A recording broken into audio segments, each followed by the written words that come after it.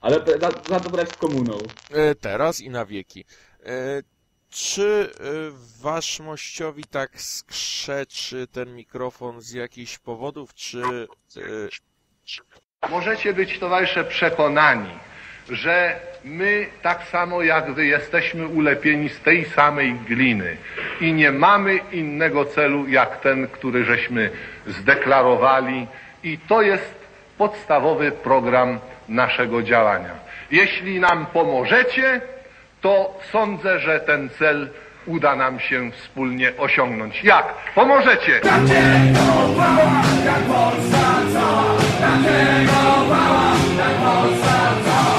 Serwa.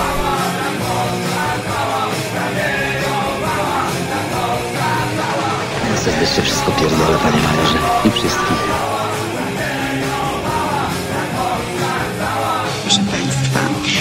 4 czerwca 1989 roku skończył się w Polsce komunizm.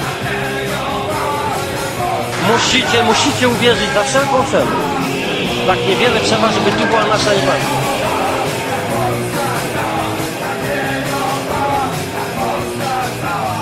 śpiewa piosenkarz, że Wałęsa od tej strony. Ja chciałem, chcę, tylko że oni nie, nie pozwalają, a ja nie mogę, bo ja nie mam mocy wykonawczej. Ale to nie ten piosenkarz.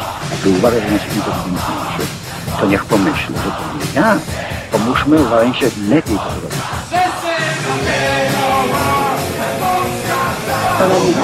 Odpieprz się może, co? No, może się od generała.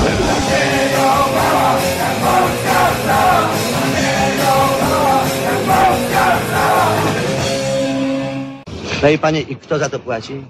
Pan płaci, pani płaci, my płacimy.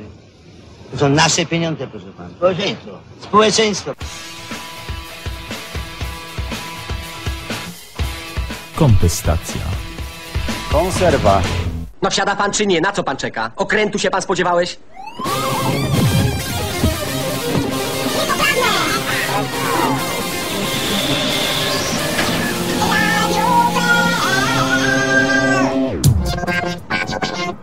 Na górę jedzie? A gdzie ma jechać? W bok! Precz z komuną. Teraz i zawsze. E, Witamy na naszej antenie Piotra Szefera z gminy Mogilany.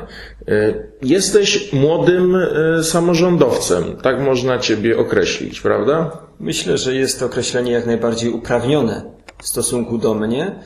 A to dlatego, że co prawda osobiście nie sprawuję żadnych funkcji w gminie, natomiast wykazuje się stosunkowo dużą aktywnością na tym polu, na polu właśnie działalności samorządowej, budowania społeczeństwa obywatelskiego e, w naszej podkrakowskiej gminie Mogilany. Jeśli by ktoś nie wiedział, to jest to pierwsza gmina na południe od Krakowa, na, leży, można by powiedzieć, na Zakopiance, czy też Zakopianka przecina gminę Mogilany prawie na dwie równe połowy. I stąd gmina dosyć dobrze znana ze względu na, na ten właśnie podmiejski charakter, ale cały czas jeszcze zachowujemy wiejski charakter zabudowy, dużo zieleni, dlatego jest to atrakcyjne miejsce do zamieszkiwania e, dla, dla krakusów, dla tych krakusów, którzy się dorobili i mają możliwość wyprowadzenia się ze swoich małych klitek na, na osiedlach.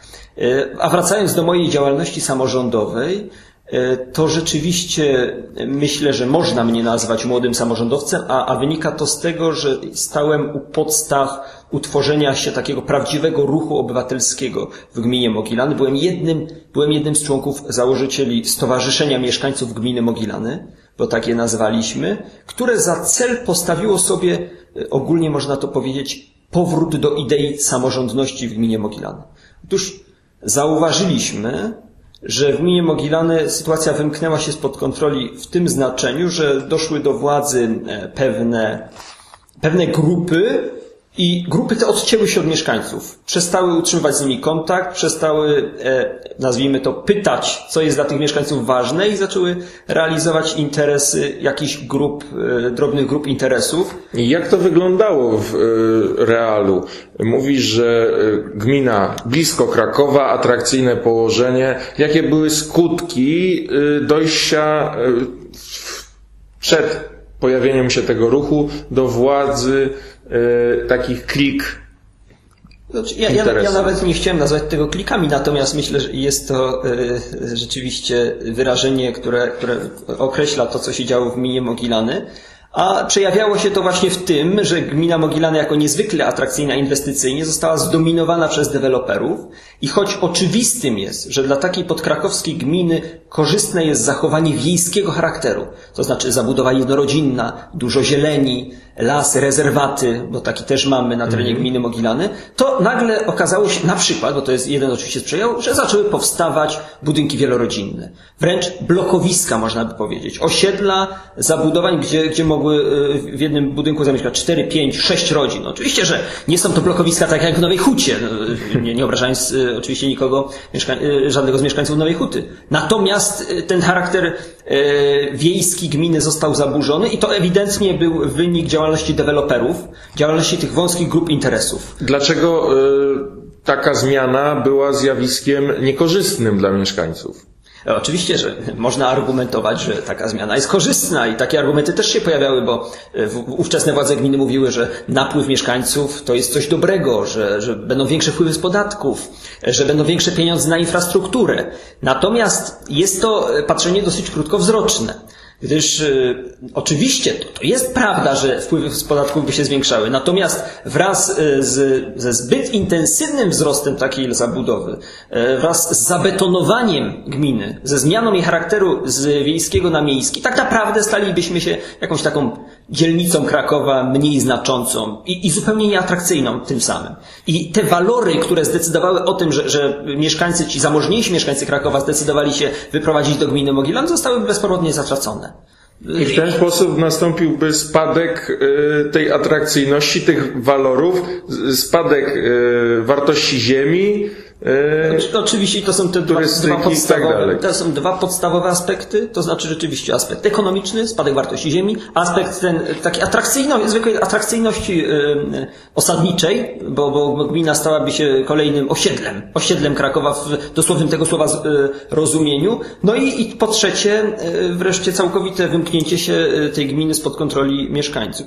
Może, żeby operować konkretnymi liczbami. W tym momencie w gminie Mogilany zamieszkuje 12 tysięcy osób i ta liczba powoli, bo powoli rośnie. Oczywiście w ostatnich latach dynamiczniej niż, niż 10 lat temu, natomiast rośnie.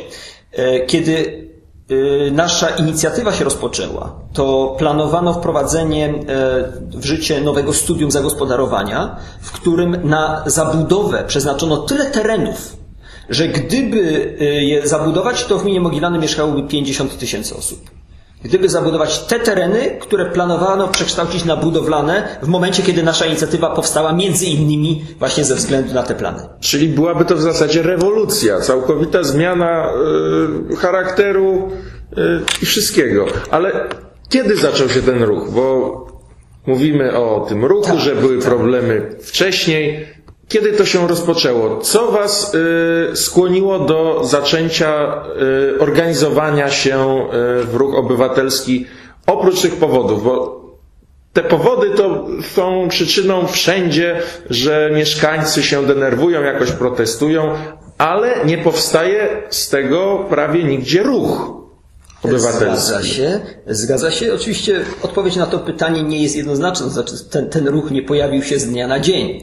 To był pewien proces, e, który polegał na tym, że wokół e, lidera tego ruchu, e, którym jest mój, mój ojciec Sylwester Szefer, zbierało się coraz więcej osób niezadowolonych z działalności obecnych władz i jakby budowa tego ruchu trwała już od, od, lat 2006, 2007, 2008, kiedy mieszkańcy, różne grupy mieszkańców domagały się pewnych interwencji, y, czy to inwestycyjnych, y, czy to y, jakichś innych interwencji typu na przykład e, e, właśnie zmiana miejscowego planu zagospodarowania przestrzennego w ten i w ten sposób, a władza zupełnie te, te wszystkie prośby i wnioski odrzucała, nie interesowała się nimi, robiła to, co, e, co zamierzała, e, co uważała za stosowne. Natomiast rzeczywiście takim punktem, tą iskrą zapalną, która sprawiła, że ruch powstał, e, była inwestycja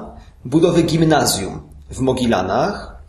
Inwestycja zupełnie, zupełnie niemądra, można by powiedzieć megalomańska, e, a scharakteryzować to można tylko liczbami, gdzie, gdzie budżet gminy Mogilany, który wynosi około pomiędzy 30 a 40 milionów na przestrzeni ostatnich lat w tych granicach się mieści, a wartość tej inwestycji, którą, która została zaplanowana i y, rozpoczęła się jej budowa, wynosiła 52 miliony złotych. I oczywiście można powiedzieć, a no to przecież to wystarczą dwa budżety. No, ale nie. Każdy, kto się choć trochę interesuje ekonomią samorządową, to wie, że w takim budżecie samorządu 90 albo 95% wydatków to są wydatki sztywne. I naprawdę zostaje bardzo niewielka część, no im, im większa, tym lepiej, ale bardzo niewielka część na inwestycje. I w sytuacji gminy Mogilany budowa gimnazjum za 52 miliony doprowadziłaby nas do, do całkowitej klęski i to była iskra zapalna, kiedy y, postanowiliśmy, że dość, trzeba coś Czyli zrobić. wszystkie e, remonty, inwestycje byłyby zatrzymane na ile lat? Y, trudno powiedzieć, y, ale... Ale jaki rząd wielkości Tak, to by był? W momencie, kiedy dochodziliśmy do władzy, kiedy oczywiście do tego dojdziemy w odpowiednim momencie rozmowy, natomiast w momencie, kiedy udało się pomyślnie przejść przez wybory, to gmina Mogilany była najbardziej zadłużoną gminą w Polsce. Jeżeli chodzi o wskaźnik procentowy, bo oczywiście nominalnie nie, no to, to jest oczywiste, prawda? Natomiast jeżeli chodzi o wskaźnik procentowy zadłużenia do dochodów, gmina Mogilany była najbardziej zadłużoną gminą w Polsce, a inwestycja gimnazjum e, była w jednej piątej, w jednej, w jednej piątej jakby e, rozwoju. To znaczy i, i, i wydatkowano na nią 11 milionów, a zatem brakowało jeszcze 41. A gmina Mogilany w tym momencie była najbardziej zadłużoną gminą w Polsce i nie mogła się już bardziej zadłużać, bo osiągnęła ustawowy próg 60%. Także nawet trudno powiedzieć, na, na ile by y, wybudowanie tego gimnazjum odłożyło inne inwestycje i remonty, bo to jest, wybudowanie było całkowicie nierealne, także ja nie potrafię odpowiedzieć na to pytanie. Wybudowanie było całkowicie nierealnym programem i, i to jakby stało się iskrą zapalną. Stwierdziliśmy, że y, dosyć zabawy, trzeba zebrać takich aktywistów lokalnych, no, tacy aktywiści, uśpieni aktywiści lokalni gdzieś tam byli, ale, ale mówili, a nic się nie da zrobić, prawda, co będziemy, no w pojedynkę nic nie zrobimy. To prawda. W pojedynkę nic nie zrobimy. Zebraliśmy pięć takich najaktywniejszych osób i założyliśmy stowarzyszenie. Jak ich zebraliście? Y, No i właśnie to, to... Po, czym, po czym poznać tych e, lokalnych aktywistów? No bo jak oni się tak ukrywają i mówią, że nic samemu się nie da e, zrobić, to e, czym się różnią od takich nieaktywistów? Po czym ich poznaliście, jak ich wyłuskaliście i zorganizowaliście? Tak, ja nieprzypadkowo powiedziałem, że to byli uśpieni aktywiści, bo my, my wie- wiedzieliśmy, że to są osoby, które mają pewien potencjał i katalog, y, rzeczywiście nie było tu jakichś kryteriów określonych, skąd, skąd ich weźmiemy, natomiast był to y, kontrkandydat tej pani Wójt, która, która wówczas rządziła z wyborów, jej kontrkandydat, jeden z radnych, jedyny radny, który był prawdziwym opozycjonistą w 15-osobowej radzie wówczas, Ciężkie miał życie. tak, ciężkie życie. E, Dyrektor Gminnego Ośrodka Kultury e, od e, 25 lat, taka postać e, bardzo w gminie znacząca, prawda? Osoba szanowana powszechnie i, i, i lubiana. No, szef tego ruchu, e, osoba, która już od dłuższego czasu e, pisała jakieś pisma i wnioski, czyli Sylwester Szefer. No i ja do tego wszystkiego się dołączyłem jako taka osoba najmniej doświadczona, no bo, bo wtedy byłem człowiekiem e, bardzo młodym, w 2010 roku. Dalej jestem młodym, ale wtedy byłem bardzo młodym. I, i, i te pięć osób było członkami, założycielami. E, Na szczęście na tym się nie skończyło. Udało się ściągnąć kolejne osoby, y, które postanowiły coś z tym zrobić. I przeszło to nasze najśmielsze oczekiwania. Znaczy, nie spodziewaliśmy się, że uda się y, znaleźć tyle osób, którym na sercu leży dobro gminy, które rozumieją te problemy. I muszę powiedzieć, że z dzisiejszej perspektywy to było też wielkim sukcesem prywatnie założenie tego stowarzyszenia, bo z wieloma tymi osobami, których wcześniej nie znaliśmy, do dzisiaj utrzymujemy stosunki y, jakieś y, przyjacielskie, koleżeńskie. Y, A wcześniej ich nie znaliśmy. Zjednoczyła nas wspólna sprawa gminy. Także to też z takiej perspektywy prywatnej, i, i nie mówię tu o jakichś korzyściach majątkowych prywatnych, to z, z tej perspektywy prywatnej to, to było też niezwykle op- opłacalne, bym tak na to powiedział. Czyli jakby nie patrzeć, y, teraz taki wniosek uniwersalny spróbujemy wyprowadzić, działanie na rzecz y, dobra wspólnego też jest korzyścią własną, taką niematerialną, taką No, psychiczną. y, każdy Polak powie, że jak się pchasz do polityki, to znaczy, że chcesz coś dla siebie. No, I w naszym przypadku właśnie tak było.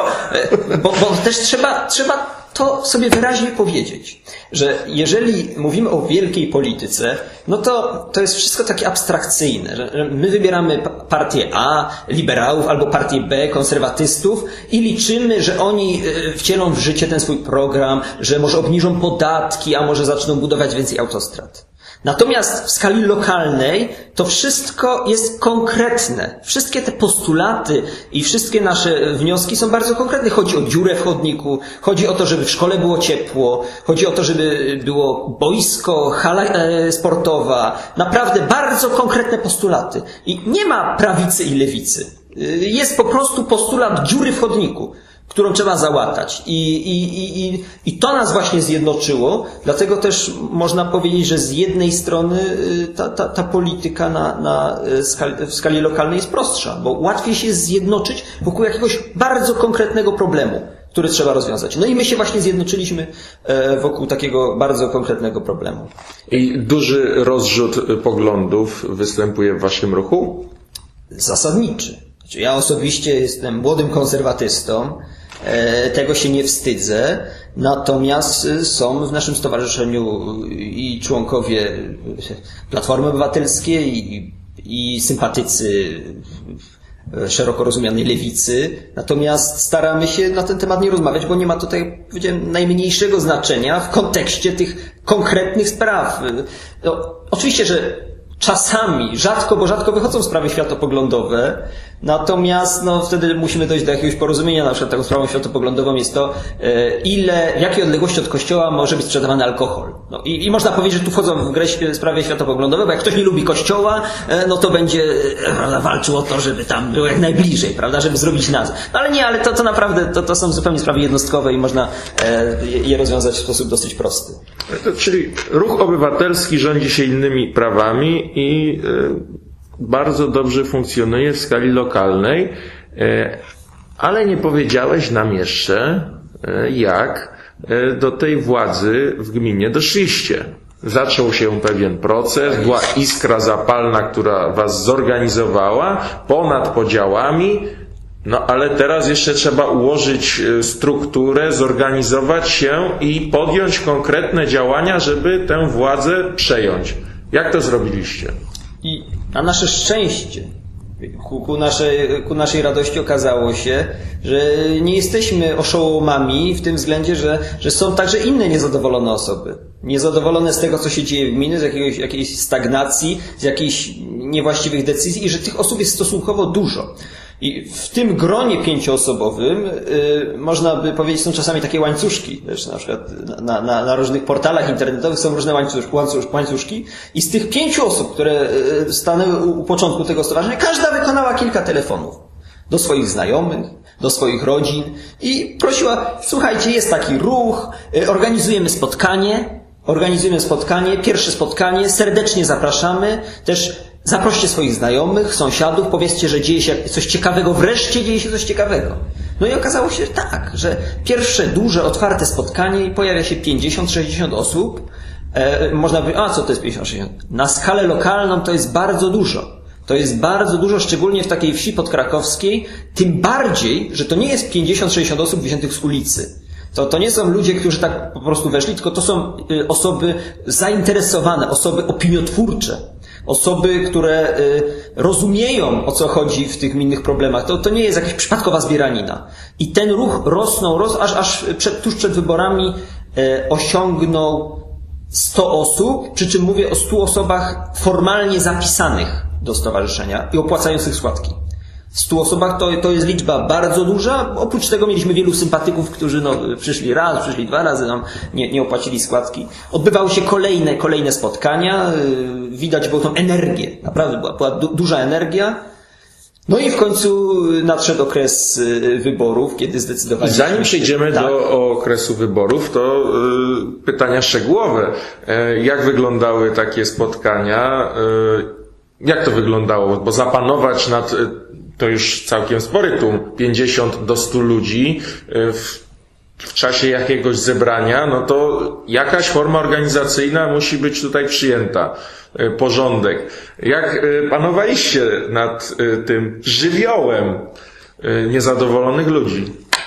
No, muszę przyznać, że nie było to łatwe, bo każdy chciał y, coś powiedzieć, że on jest niezadowolony z tego, że y, ma dziurę y, w domu, przed, przed, przed, domem w ulicy, prawda, a inny jest niezadowolony z tego, że mu zalewa działkę, bo nie jest zrobiona kanalizacja, a jeszcze inny mówi o jakiejś sprawie publicznej, prawda, a jak, jak to opanować? No, spotkania miały jakiś, jakiś swój program, który wcześniej ogłaszaliśmy na stronie internetowej i staraliśmy się tego trzymać, natomiast nigdy się nie zdarzyło tak, żeby spotkanie się skończyło w tym zaplanowanym czasie. Zawsze było jeszcze mnóstwo osób, które chciały coś powiedzieć, no, ale wiadomo, człowiek też ma swoje ograniczenia, że tak powiem, za długo na czterech literach siedzieć nie może.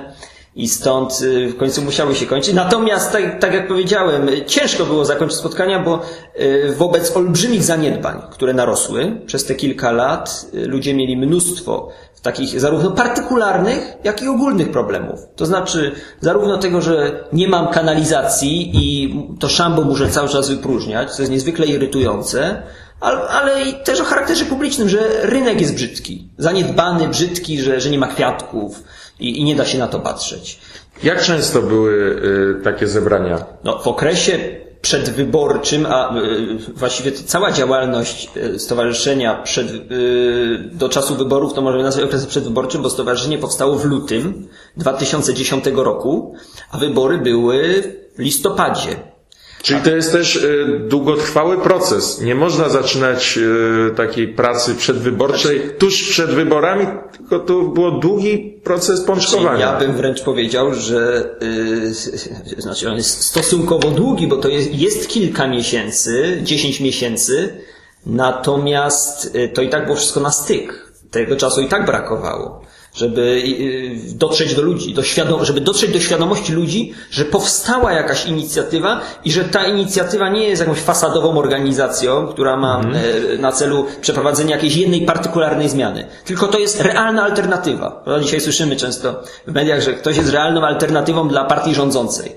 I chodzi właśnie o to, żeby dotrzeć do świadomości ludzi z przekazem, że jest realna alternatywa, że Zobaczcie, że coś się dzieje, że mieszkańcy się organizują i że naprawdę warto y, dołączyć. I udało się dotrzeć z tym przekazem, y, a efekty tego były, były potem, w trakcie wyborów.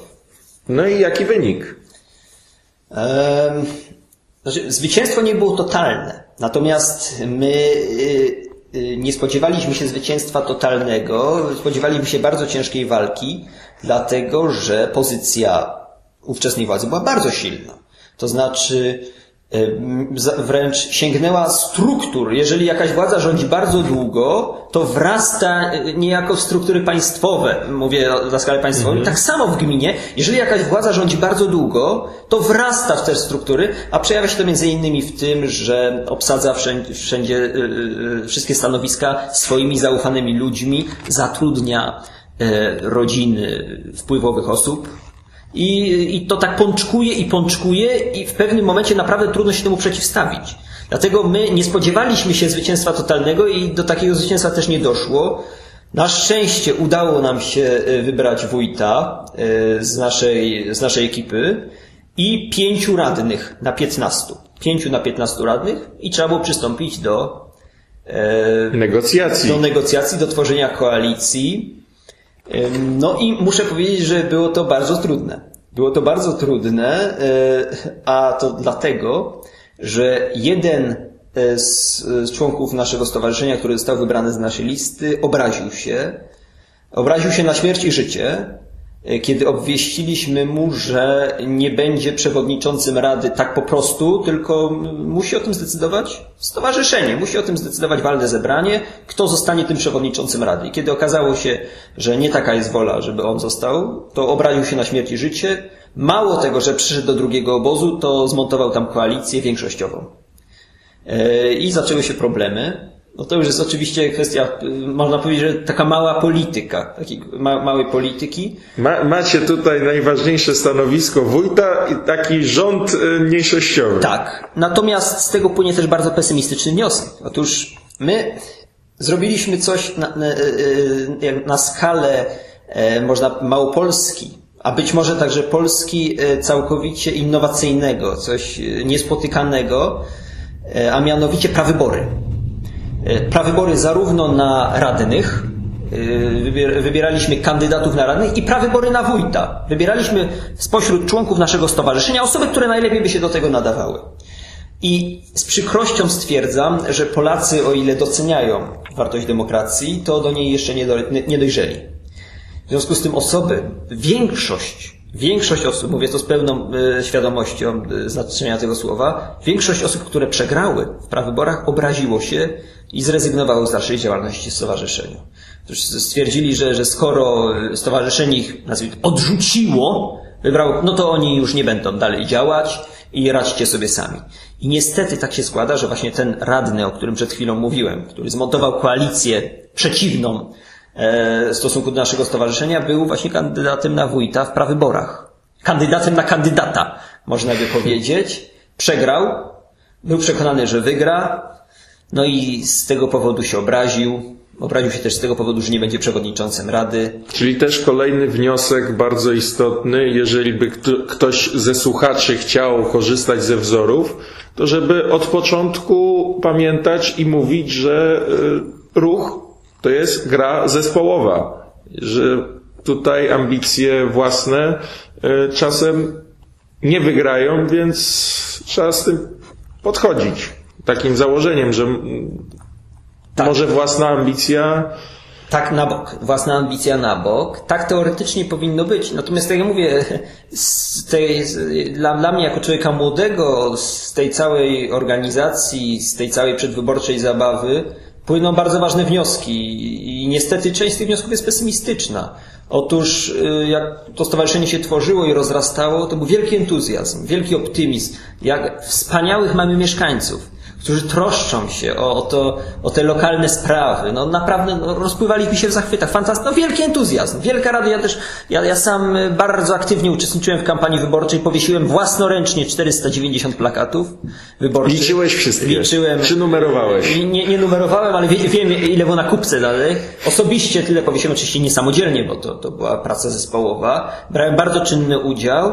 I też mówię, mogę wyciągnąć niestety takie pesymistycznie w- wnioski, że o ile znaleźliśmy kilkunastu, kilkudziesięciu e, mieszkańców, którzy rzeczywiście są zatroskani o te sprawy lokalne. Naprawdę zależy im na sercu, żeby rynek był ładny, żeby w szkołach było ciepło, żeby nie było dziur w drogach.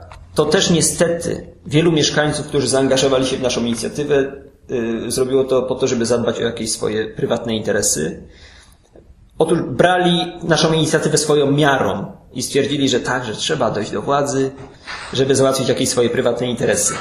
Ale chyba trochę taka polityka właśnie polega na godzeniu e, interesów partykularnych e, i wypracowywaniu interesu wspólnego. Czyż nie?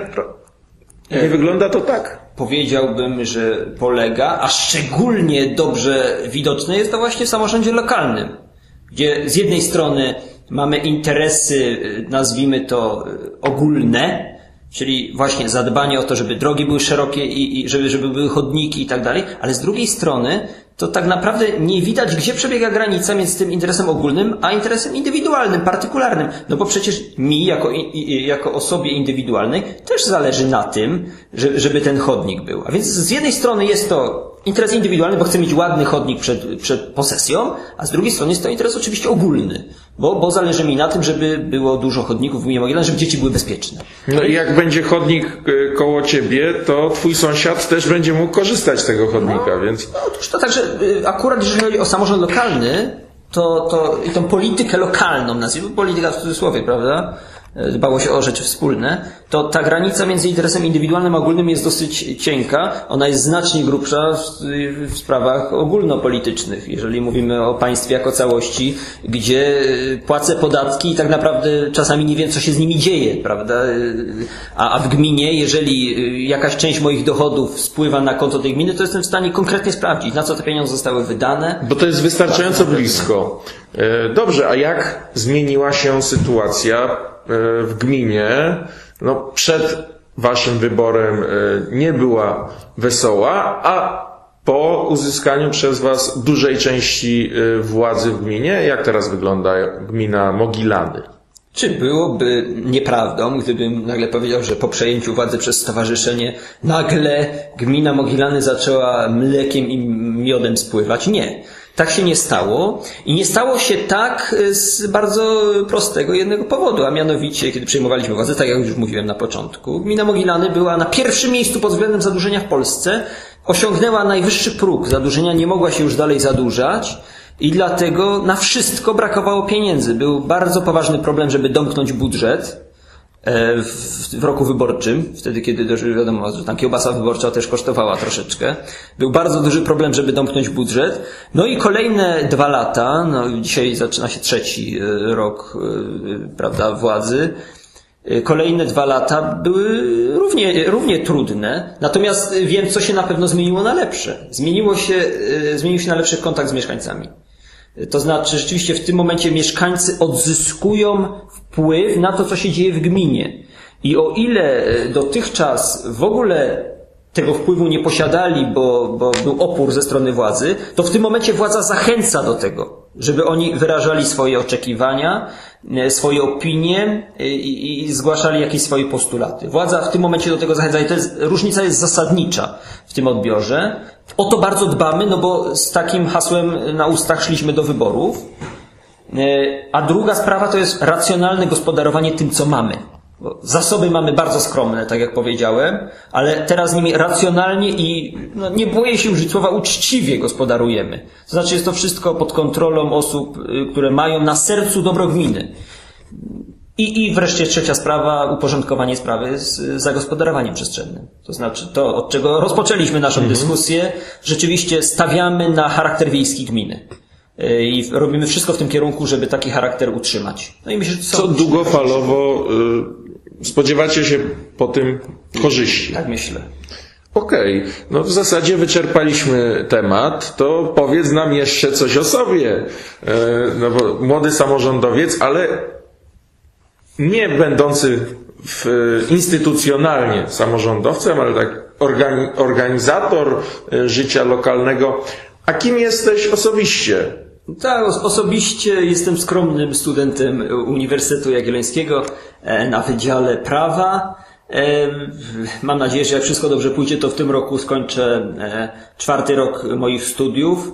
No i będę zmierzał ku, ku zakończeniu. A oprócz tego z takich ciekawych spraw, którymi się w życiu zajmowałem, no, najciekawszą jest oczywiście samorząd terytorialny.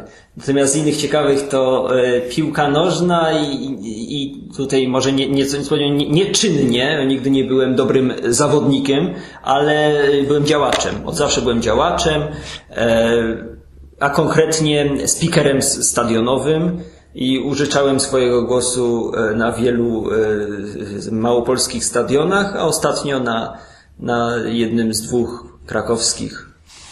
Można mnie usłyszeć na jednym z dwóch największych krakowskich stadionów, tak to, e, tak, tak, to, tak to powiem. I tutaj postawimy kropkę. Myślę, że to będzie odpowiedni moment. Okej, dziękuję bardzo serdecznie za rozmowę. Naszym gościem był Piotr Szefer. Do zobaczenia, do usłyszenia za tydzień. Dziękuję bardzo. Złapali bujaka. E, kogoś ważniejszego. Boże święty. Ojca Świętego złapali. Słyszała pani? Jaruzelski porwał papieża. Nie. Kiedy? Dzisiaj, z samego rana. Regana aresztowali? Precz z komuną! No precz, precz. Teraz i na wieki. Po tej stronie Amen. Jabolissimus, a po tamtej stronie Sołtys Ciechanowczyka, Kamiński Marcin. czyli były prezes y, Kolibra. Były, y, były, były. Były, były y, i Kolibra i oddziału warszawskiego, obecnie członek Centralnej Komisji Rewizyjnej. E, Dobrze, kreatora tam nie ma, albowiem jest w tym momencie niedysponowany na filmie czy w jakichś podobnych okolicznościach. I Ktoś pewnie dzisiaj. I dzisiaj spotykamy się e, z okazji właśnie tego, że jesteś e, sołtysem, jednym z najmłodszych sołtysów w Polsce. E, Opowiedz nam, mm, co cię skłoniło, najpierw, co cię skłoniło właśnie do tego, żeby zostać sołtysem, bo to chyba nie jest zwyczajne stanowisko. To jest wręcz nadzwyczajne stanowisko. To jest, kurde, funkcja jakich mało, zwłaszcza we wsi. Eee, no ale generalnie, no co, no. We wsi Warszawa. Słucham? We wsi Warszawa. Też zdarza mi się bywać dosyć często. Nawet teraz pozdrawiam ze stolicy.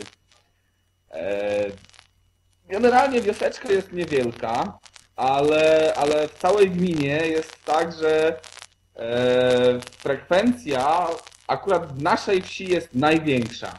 Miałem w wyborach e, na sołtysa dwie kontrkandydatki. Na łącznie osób uprawnionych do głosowania e, dwadzieścia kilka. Wow. Także, także w sumie to co siódma osoba startowała w wyborach. No. I czym przekonałeś swoich sąsiadów, żeby y, na ciebie zagłosowali? Jak kiełbasą wyborczą. Y, Też płynną. czyli konkretnie czym? No kiełbasą wyborczą, no. No, ale konkretnie, Nie, no, to były jakieś... robię. Nie no, generalnie, generalnie to, to było tak, że coś trzeba było zrobić rozsądnego w tej naszej, naszej wioseczce, która jeszcze nie do końca była e, wioseczką i, i trzeba było o nią zadbać, żeby oddzielić się od e, miasta, bo e, mamy taką fajną historię, że byliśmy jak ten Ronin bez pana, to byliśmy taką wsią bez ziemi. Mm, I z jednej strony teoretycznie byliśmy wsią, z drugiej strony nas nie było jako wsi. E, I mieszkańcy widzieli taką potrzebę, żeby coś z tym zrobić, jakiś porządek. E, No i co? I zadeklarowałem, że będę działał i, działamy. Jak tylko uformowały się nowe władze, e, to wspólnie z przedstawicielami Rady Sołeckiej we trójkę złożyliśmy wniosek o wyodrębnienie Ciechanowczyka z granic administracyjnych Ciechanowca i zrobiliśmy porządek z tym burdelem przy, przy przychylności lokalnych władz. Udało się stworzyć e, wieś e, jak każdą inną, bo do tej pory to było takie nie wiadomo co. E, No i, i mamy od miesiąca wieś. Trwało No to to- dwa lata niemalże, ale się udało. No to pierwszy sukces, ale y, powiedz nam, mieszczuchom, na czym ten sukces polega, bo nie mieliście wsi, byliście wsią y, de facto, ale co wynikało z tego, że byliście wsią de facto, ale nie e, de jure? Co z tego wynikało?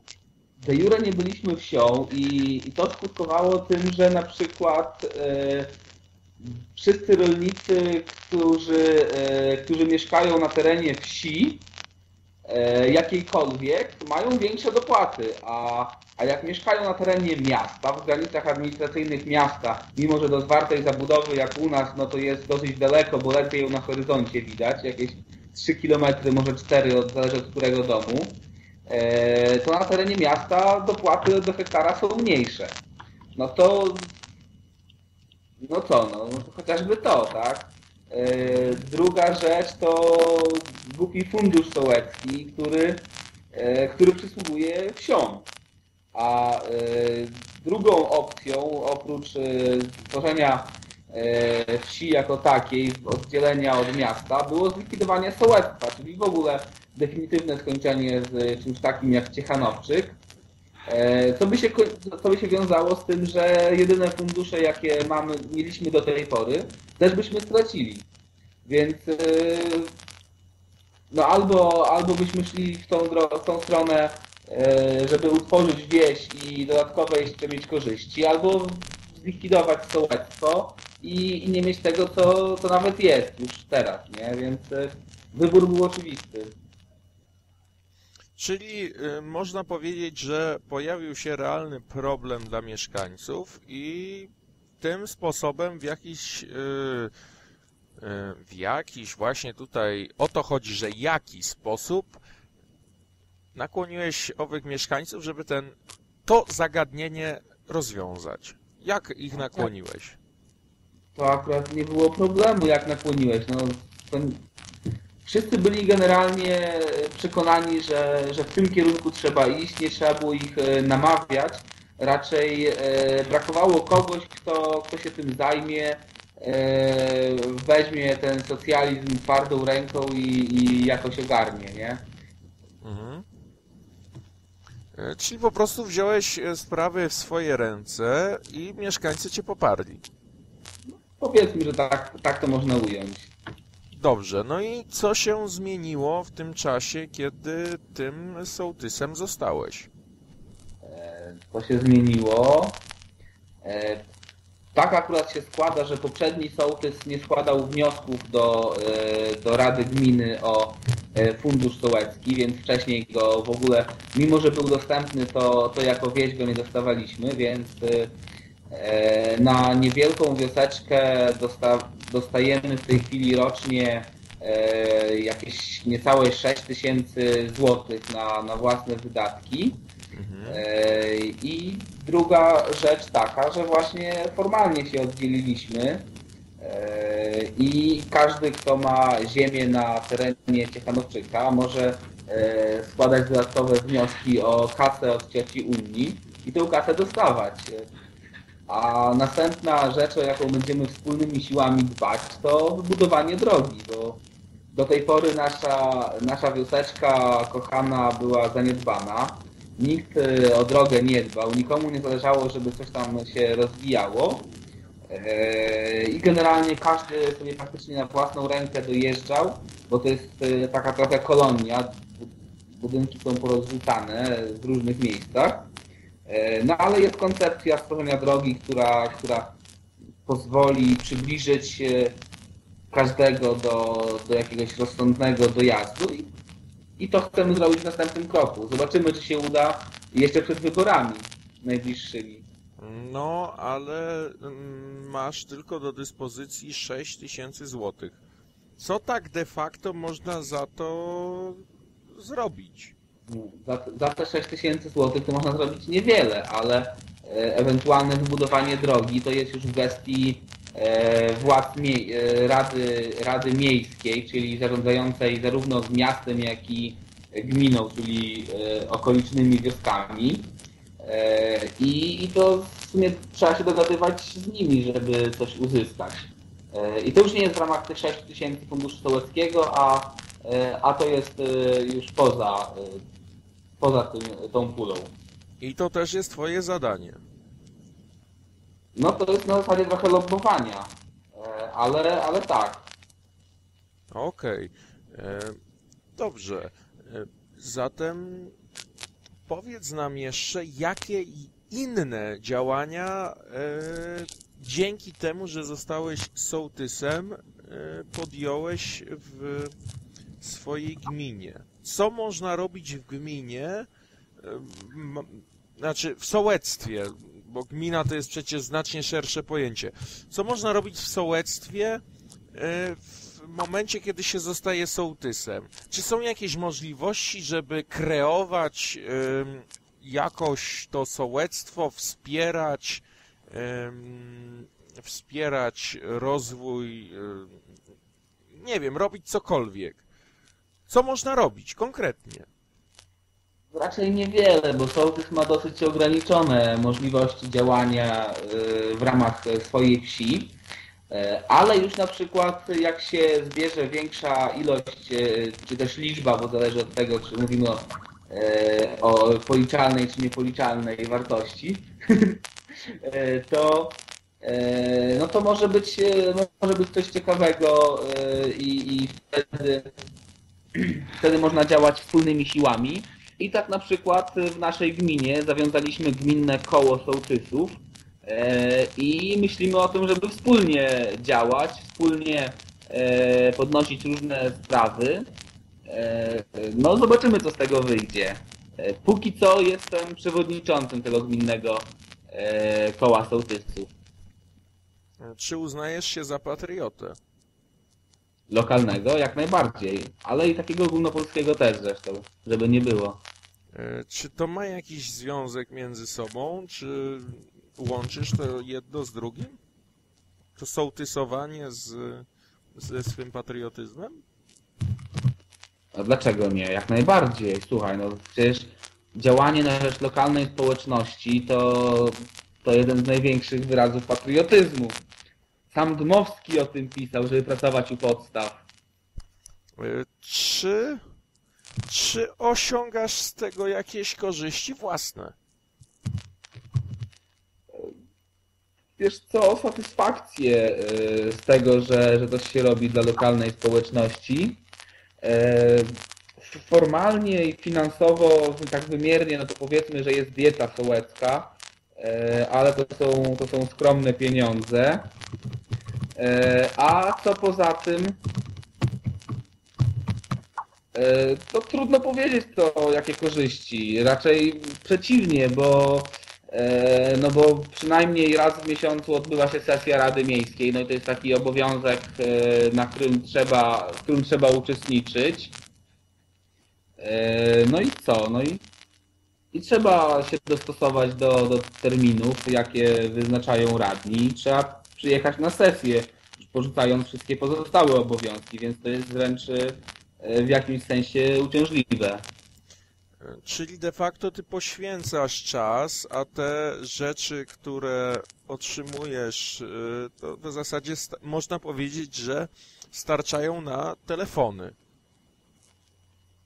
No mniej więcej powiedzmy, że, że prócz e, takiej wartości jak e, to, że e, po prostu poczucie e, satysfakcji z tego, że się działa na rzecz e, lokalnej e, społeczności, no to z wyłączeniem tego powiedzmy, że wychodzę na zero. No okej, no to powiedz nam jeszcze, czym się zajmujesz poza sołtysowaniem?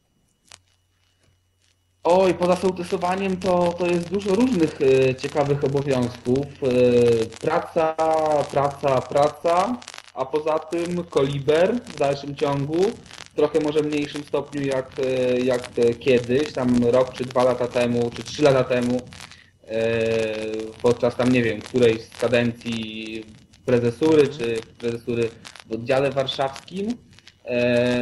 No ale też e, w dalszym ciągu coś staram się robić na rzecz Kolibra e, i na rzecz e, idei, na rzecz, e, na rzecz wolności.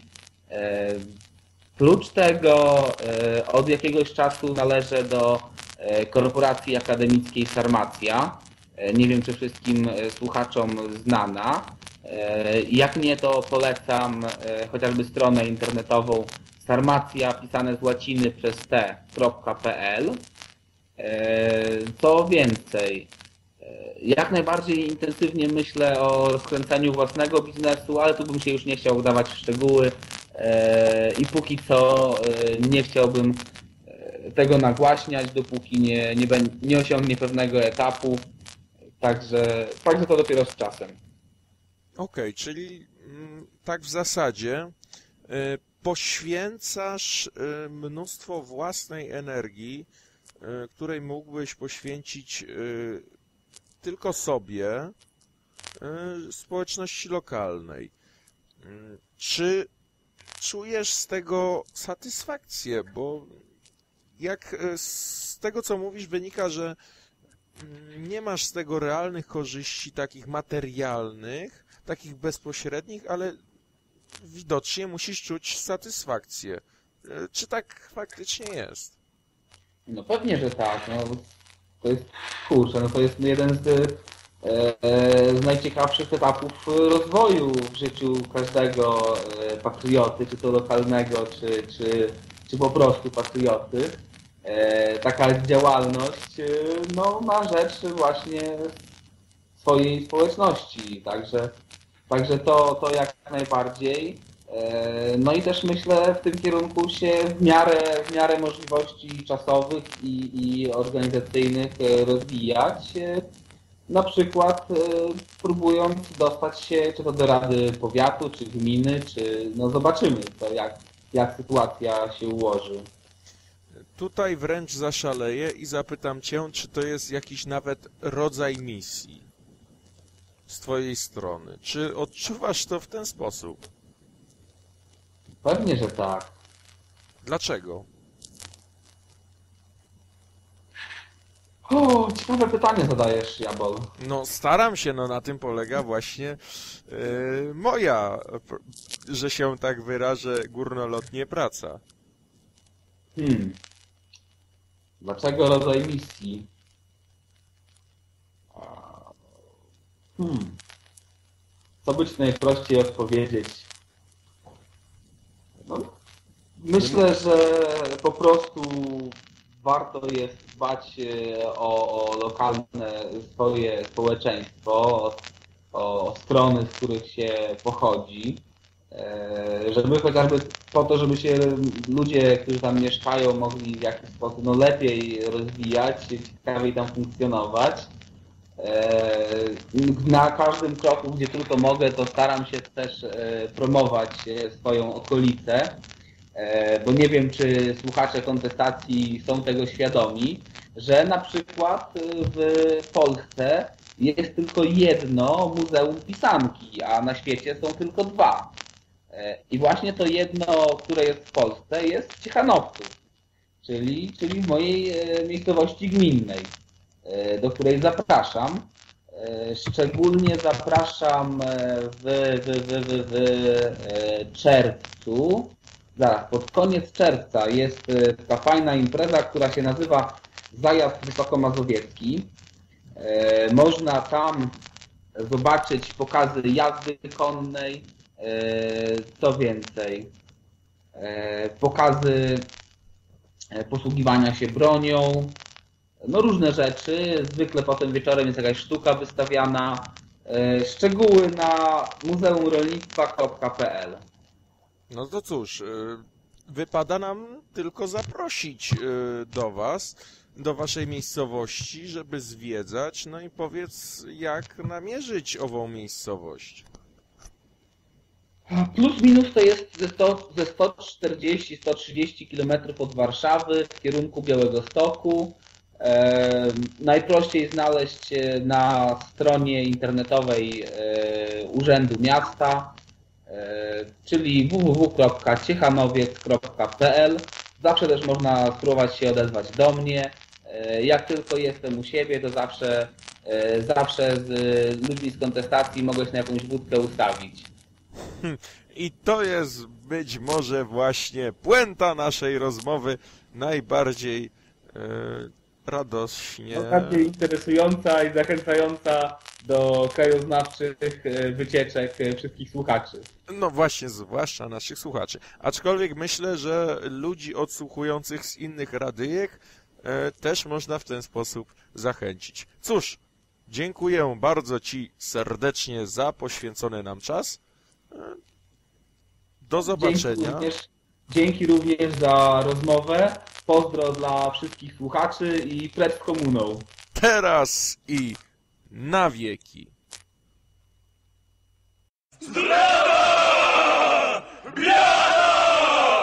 Bracich na tortury! Jeśli Polska to w rechocie i w rozpuście, jeśli Polak to bez przaśnych polskich cech, jeśli wiara to wyłącznie w dobrym guście, stonowana bez alergii na grzech, jeśli flaga, no to choćby w ekskrementach, dobry dowcip więcej wart od jakichś flag. Jeśli prawda to złożona i pokrętna, jeśli pamięć najrozsądniej, gdy jej brak.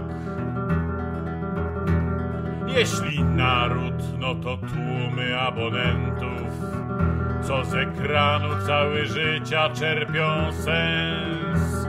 Jeśli honor to gejowskiej dumy święto, na paradzie pośród stringi strojnych mięs. Jeśli orzeł orła warto by ujarzmić, w szponach przemoc, a w koronie buta tkwi, bohaterzy ci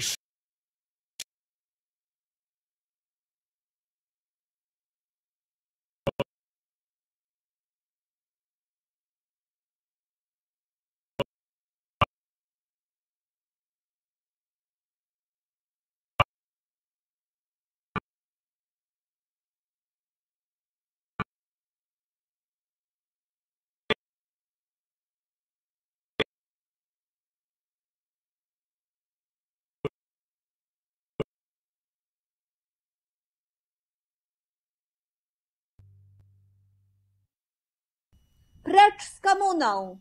Teraz i zawsze. Na naszej antenie gościmy w tym momencie autorkę książki. Yy, Jak się ta książka nazywa? Bajki z prawej strony, yy, wydane, wydane przez yy, księgarnię Gazety Polskiej, jejmość Barbarę Postawę, która była współautorką naszej szopki noworocznej w zeszłym roku i ze względu na to reklamujemy. Proszę nam e, opowiedzieć, jakie to są bajki. To są trzy opowiastki rymowane, e, przeznaczone dla dzieci w wieku od 4-5 do 10 lat. E, Pierwsza bajka opowiada o nieudanej śpiewaczce operowej i jej rozpieszczonej kocicy. Dopiero ksiądz katecheta sprowadza wszystko na właściwą drogę, a więc bajka jest bardzo niepoprawna. Druga bajka opowiada o rodzinie wielodzietnej w momencie, kiedy ma się pojawić y, piąta pociecha. Dzieci nie mają z kim zostać, tata wyjeżdża na delegację do Wiednia, mama musi być w szpitalu i dziećmi zajmuje się zwariowany stryjek. O, no i I Trzecia? bajka ma wątek miłosny. O! Bajka ma wątek miłosny, bo stryjek odprowadzając, a, a może lepiej przeczytać bajkę. a no właśnie. A trzecia bajeczka o czym A opowiada? trzecia bajeczka to jest najdłuższa historyjka. To jest opowiastka o y, dziewięcio-dziesięcioletniej nieznośnej, y, nieznośnej dziewczynce, egoistycznej, która rządzi całą rodziną, rozstawia wszystkich po kątach, jest, y, uczy się doskonale i to są, no i z tego się rodzice jej cieszą, natomiast martwią się, że jest taką straszną egoistką, że nie liczy się z uczuciami innych ludzi. I ta dziewczynka szczególnym zbiegiem okoliczności przenosi się do roku 1935 i musi zmierzyć się z codziennością tego roku e, w zupełnie innej rodzinie. O, I no to i to bardzo ciekawe, bardzo ciekawe y, zagajenie. Dla jakich dzieci są te bajki przeznaczone? No tak jak mówiłam, w wieku od 4-5, bo ja tak patrzę po, po naszych wnuczkach, do, do 10 lat. Do Okej. 10 lat. Gdzie można zakupić te książeczki? Książkę można kupić yy, w księgarniach Gazety Polskiej yy, oraz w internecie. Serdecznie zapraszamy. Dziękuję bardzo serdecznie jej mości Barbarze za wspaniałą poezję i bajki dla dzieci. To ja dziękuję i precz z komuną. Teraz i na wieki. Na ten tydzień jeden pogrzeb wystarczy, dawaj chodź. Konserwa wspiera akcję Koliber dla życia. Koliber dla życia to akcja, która ma na celu ochronę życia od poczęcia. Projekt ten ma uświadamiać polskie społeczeństwo, jak poważnym problemem społecznym jest zabijanie nienarodzonych dzieci. W pierwszej połowie października wystosowaliśmy razem z posłem Przemysłowem Wiplerem interpelację w sprawie polskich szpitali finansowanych przez NFZ, w których w 2011 roku dokonywano aborcji. Koliber wyruszył także w Polskę z filmem October Baby. Jest to oparty na faktach obraz o dziewczynie narodzonej podczas aborcji. Wszystkie zainteresowane osoby zapraszamy na film, a informacje o projekcjach można znaleźć na stronie dlażycia.koliber.org. W komitecie honorowym akcji są Przemysław Babiarz, Jacek Karnowski, ksiądz Tadeusz Isakowicz-Zaleski, Sławomir Olejniczak, Grzegorz Braun, Łukasz Adamski, profesor Jacek Bartyzel, Paweł Kukis. Tomasz Terlikowski. Akcja Koliber dla życia.